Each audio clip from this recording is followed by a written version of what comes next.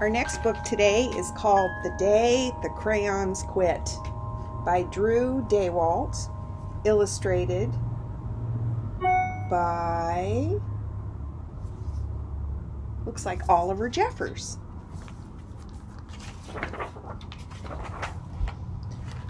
One day in class, Duncan went to take out his crayons and found a stack of letters with his name on them. Hey, Duncan, it's me, Red Crayon. We need to talk. You make me work harder than any of your other crayons. All year long, I wear myself out coloring fire engines, apples, strawberries, and everything else that's red. I even work on holidays.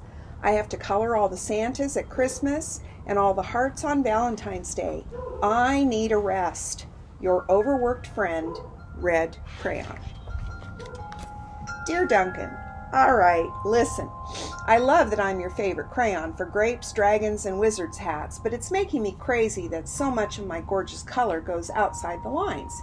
If you don't start coloring inside the lines soon, I'm going to completely lose it. You're very neat, friend. Purple crayon. Dear Duncan, I'm tired of being called light brown or dark tan because I'm neither. I'm beige and I'm proud. I'm also tired of being second place to Mr. Brown Crayon. It's not fair that Brown gets all the bears, ponies, and puppies, while the only things I get are turkey dinners, if I'm lucky, and wheat. And let's be honest, when was the last time you saw a kid excited about coloring wheat? Your beige friend, Beige Crayon. Duncan.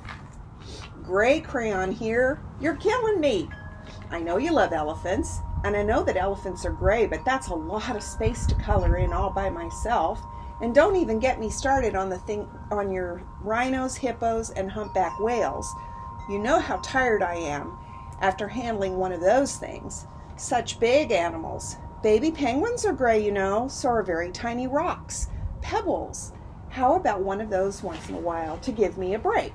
Your very tired friend, Gray Crayon.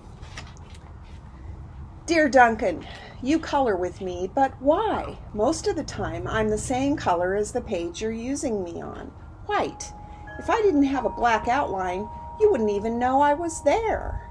I'm not even in the rainbow. I'm only used to color snow or to fill an empty space between other things, and it leaves me feeling, well, empty. We need to talk. Your empty friend, White Crayon. Hi, Duncan. I hate being used to draw the outline of things, things that are colored in by other colors, all of which think they're brighter than me.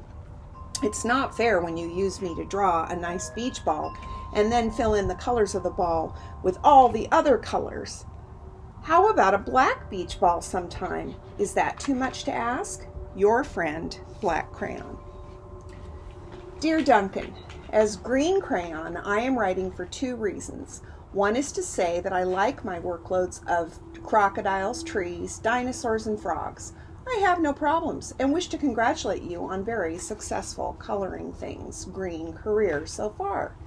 The second reason I write is for my friends Yellow Crayon and Orange Crayon, who are no longer speaking to each other. Both crayons feel they should be the color of the sun. Please settle this soon because they're driving the rest of us crazy. Your happy friend, Green Crayon. Dear Duncan, yellow crayon here. I need you to tell Orange that I am the color of the sun. I would tell him, but we're no longer speaking. And I can prove I'm the color of the sun, too. Last Tuesday, you used me to color in the sun in your Happy Farm coloring book. In case you've forgotten, it's on page 7. You can't miss me. I'm shining down brilliantly on a field of yellow corn, your pal, and the true color of the sun, yellow crayon. Dear Duncan, I see Yellow Crayon already talked to you, the big whiner. Anyway, could you please tell Mr. Tattletale that he is not the color of the sun? I would, but we're no longer speaking. We both know I am clearly the color of the sun because on Thursday you used me to color the sun on both the Monkey Island and the Meet the Zookeeper pages in your Day at the Zoo coloring book. Orange, you glad I'm here? Ha! Your pal, and the real color of the sun, orange crayon. Dear Duncan, it's been great being your favorite color this past year and the year before and the year before that. I have really enjoyed all the oceans, lakes, rivers, raindrops, rain clouds, and clear skies. But the bad news is that I am so short and stubby, I can't even see over the railing in the crayon box anymore. I need a break. Your very stubby friend, Blue Crayon. Duncan, okay, listen here, kid. You have not used me once in the past year. Is it because you think I'm a girl's color? Speaking of which, please tell your little sister I said thank you for using me to color in her little princess coloring book. I think she did a fantastic job of staying inside the lines. Now back to us. Could you please use me sometime to color the occasional pink dinosaur or monster or cowboy? Goodness knows they could use a splash of color. Your unused friend, Pink Crayon. Hey Duncan, it's me. Peach crayon. Why did you peel off my paper wrapping? Now I'm naked and too embarrassed to leave the crayon box. I don't even have any underwear. How would you like to go to school naked? I need some clothes. Help, your naked friend, Peach Crayon.